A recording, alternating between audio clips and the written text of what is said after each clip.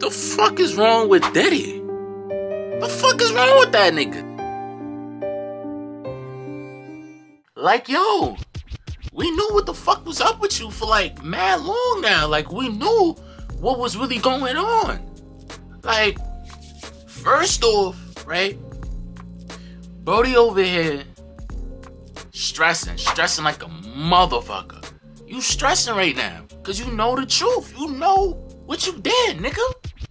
Nigga, it was get back for Tupac. I was get back for Tupac. Cause we know, I don't care what nobody say. We all know who had some type of involvement in that Tupac situation. We knew what was up.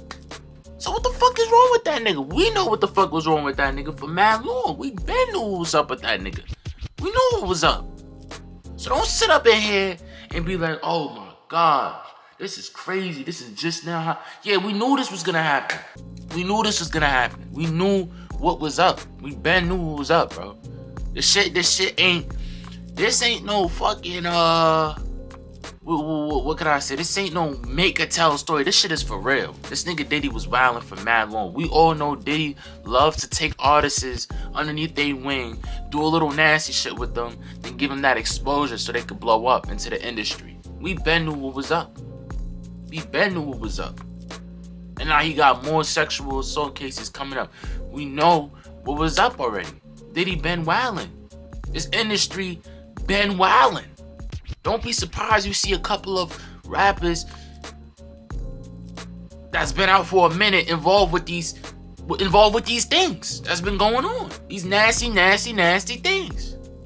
So shout out to his ex. Shout out to him. I mean her. My fool. I said him. Damn. Her. Shout out to her. Because at the end of the day, being done dirty like that ain't easy, bro especially when it's from your husband, the person that you so-called supposed to love. It's not. It's not fucking easy. It's not. It was never easy.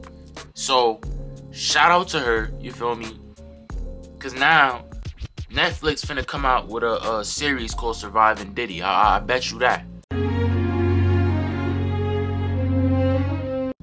Niggas was on R. Kelly dick, so we gotta keep that same energy for Diddy. Point blank. Make sure y'all like, comment, subscribe, tune in, turn on that post notification, and tap in if you didn't. Let me know if you fuck with the content. It's your boy Why Not Craig. This is my reaction.